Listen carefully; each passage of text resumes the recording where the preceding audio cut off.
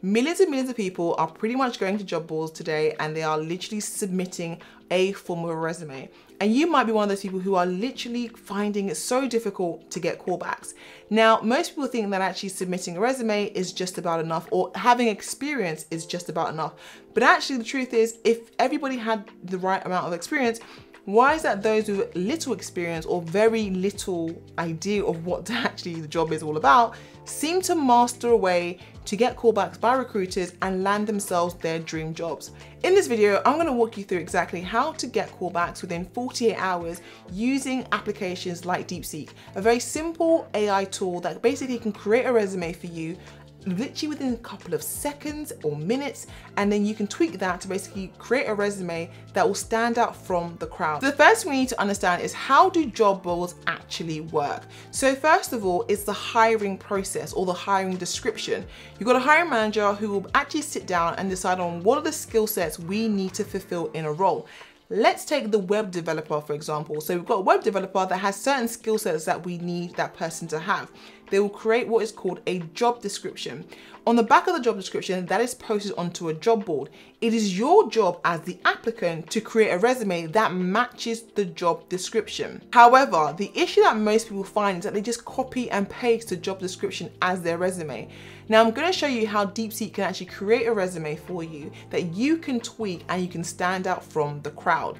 Now you need to understand how do job boards actually work. Now you've got a hiring manager that has got a description and they post it onto a job board. Now you can imagine what's going to happen. You see the application as the applicant and tens of thousands of applications come in. Now there's no way one hiring manager is going to sift through hundreds and hundreds of resumes.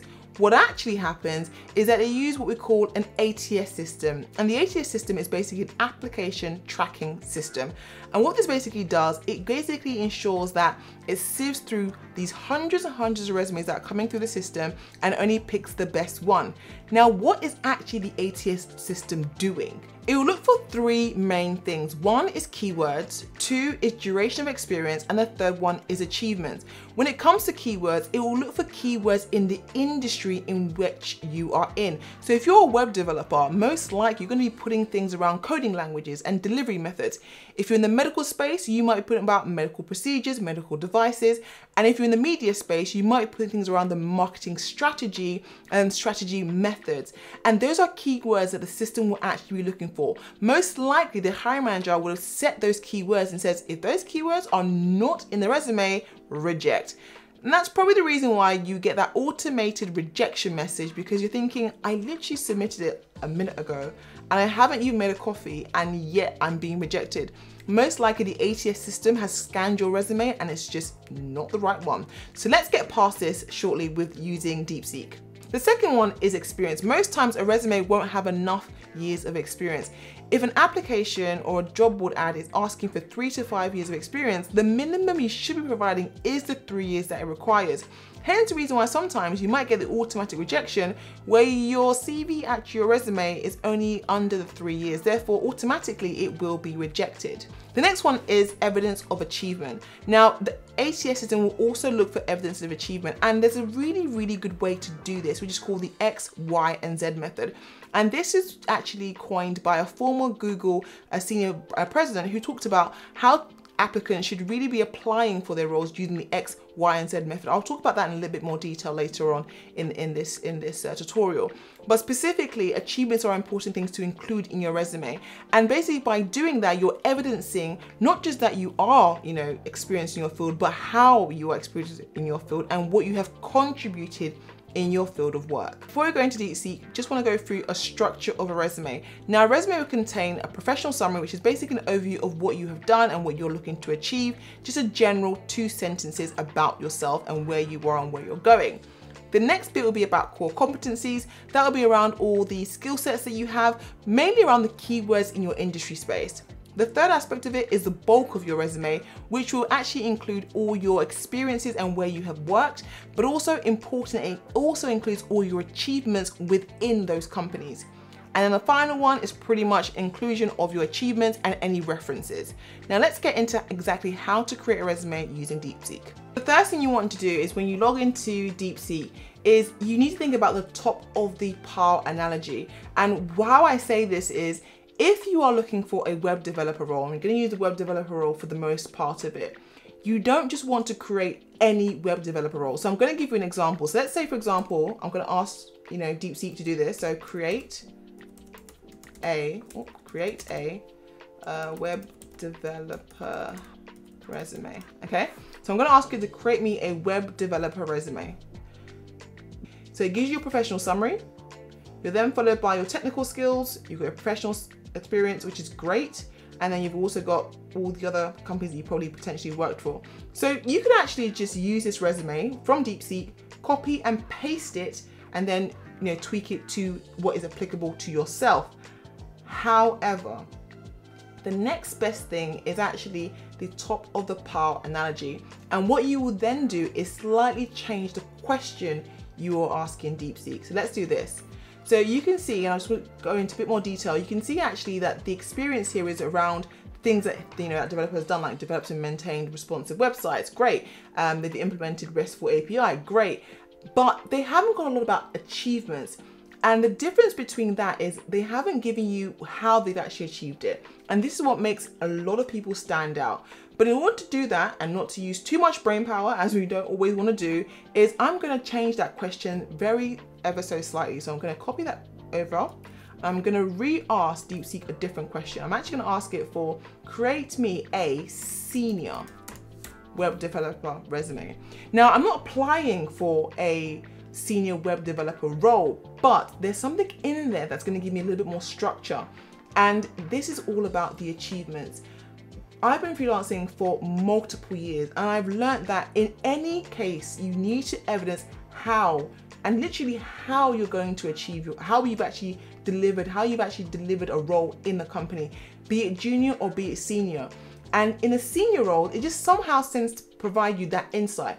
And I want to show you how maybe a junior web developer can do exactly the same. So let's go into it in a bit more detail. So when you scroll back up, you will see that there is a little bit more effort provided in terms of the achievement. So in the in the senior web developer role, you got it implements agile methodology, but it also did that and what the impact was by improving team productivity and reducing project delivery times by 25%. That's not what we have in the you know standard web developer resume. Another thing it provides as well is developer, for example, it developed a real-time chat application in WebSock and React, improving customer support response by basically 30%. The key is that it's not just saying what it's done, it's basically explained how it's done that. And that's the key to actually creating a resume. In any situation, you are having to show evidence of actually how you've achieved that. Now, this is a very interesting concept because this was coined by, again, the former Google president, and he said that when people are applying for Google, they should be using the X, Y, and Z method. And the X, Y, and Z method basically, the X is the accomplishment. What have you actually accomplished? And the Y being the measurable. What how have you measured that? How have you been successful in that? And the Z is what did you do to actually achieve that? Another example of using the X, Y, and Z method, and this is how you can do this, is maybe the web designer accomplishment. Let's say, for example, there's a web designer and said, I've increased web traffic.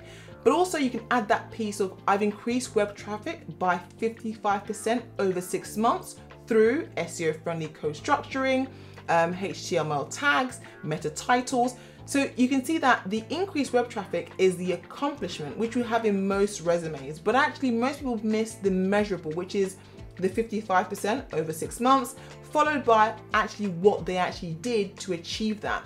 And if you follow this structure and you use, you know, AI like basically DeepSeek, you can actually actually create a resume that stands out at the top of the pile. So what you're actually doing is when you go one step up in seniority in any industry and you leverage some of that, you know, you know, accomplishment or structure of accomplishment, you can actually create a CV in your space where you are, maybe you're a junior web developer, that stands out from the crowd.